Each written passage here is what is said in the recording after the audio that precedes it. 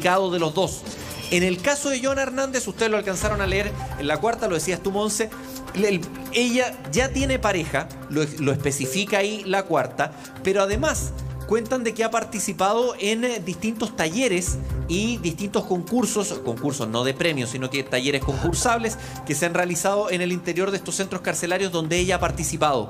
Pero además según lo que explica también el diario La Cuarta, ella tendría un estatus distinto a nivel de las internas en el interior de este centro penitenciario por el tipo de delito que cometió. Lucho. Lo hemos conversado en más de alguna oportunidad, muchachos, de que, por ejemplo, las mujeres que han matado niños lo pasan muy mal en la cárcel, que es, por ejemplo, el caso de la madrastra Angelito. ¿Se acuerdan ustedes de Molina? Sí. Sí. Ella lo pasó muy mal por estos códigos carcelarios que hay de haber eh, causado la muerte de un pequeño.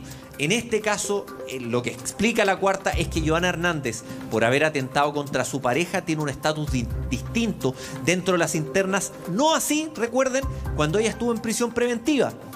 En su primer, cuando ella estuvo en prisión preventiva, ella ahí no lo pasó nada de bien, porque ahí lo que le reprim- Lucho. la reprimenda de las internas era que ella había actuado mal en contra de una persona que la quería. Ahora, al parecer, la situación es distinta. Dime, Julio. Lucho, dos preguntas. La primera, ¿cómo tiene un teléfono Francisco Silva? Un caso tan mediático. Se supone, se supone que alguien que está muy vigilado, custodiado, ¿cómo le llega un teléfono? Esa es la pregunta uno, si tiene antecedentes. Y dos, ¿con qué pololea Joana? Digamos, Ese es ¿en el qué- pololo. ¿En qué minuto? esta, te lo voy a contestar porque acabo de leer la cuarta. ¿En qué minuto se, se pega el Mira, pololeo? Ver. por si fuera poco, revelaron que ya habría olvidado a su chanchito, como le decía a Francisco Silva, ¿se acuerdan? Es lo que escuchábamos ahí en la audiencia. Bueno, la razón tendría una nueva pareja al interior del módulo 20D del Centro Penitenciario Femenino de Valparaíso. Es decir, quizás tendría una pareja mujer, eh, una de las Esa es la- compañeras. esa es la yo creo, pregunta. yo creo. Fue- Porque el módulo porque de femenino. esta manera no me explico. Yo también me, me- sería difícil, a no ser que hubiese llegado un ex pololo o alguien dentro de las visitas, pero las visitas son restringidas. Muy Puede ser que sea pareja de una mujer. Puede ser pareja de una mujer. Eh, Lucho, y lo del celular, por favor, si nos puedes confirmar algún antecedente que tenga. A mí me enseñaron una vez que era mala educación responder con una pregunta. Sí. Pero si hemos visto refrigeradores adentro de un centro carcelario, un celular creo que es lo de menos. Pero referente a la situación de que él tiene de ser un reo de alta peligrosidad, de estar en una situación de alta peligrosidad, el tema de los celulares, Julio César, lo hemos visto en innumerables oportunidades, desde pelotas de tenis que tiran hasta el interior, hasta un dron en alguna oportunidad, o no es descartable que alguna persona se lo haya entregado, alguna visita, presumiblemente, estamos hablando siempre en el ámbito del presunto, se lo hubieran entregado, o además las mismas situaciones que se dan al interior de los centros penitenciarios, donde esto se trafica, se venden, se compran, entonces no es descartable que eso haya llegado a él y que después se encontró el teléfono. Pero en ese sentido, Francisco está recibiendo eh, visita. Y Joana, ¿qué pasa con ella? ¿Ella está recibiendo algún tipo de visitas constantes? ¿Están siendo mucho más restringidas las visitas con ella?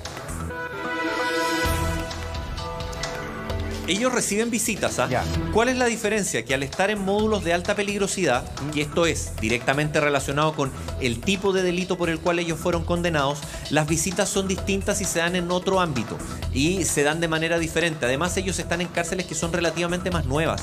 Entonces, las visitas son mucho más acotadas. Es distinto, por ejemplo, las visitas que se dan en la expenitenciaría o las visitas que se dan en Colina 1, donde los ambientes son distintos, o por ejemplo en el Centro de Orientación Femenina, que es un ambiente abierto completamente, y ahí se, interactúan las visitas. En este caso, ellos al parecer, al parecer, les estoy hablando desde el presunto, es en cubículos.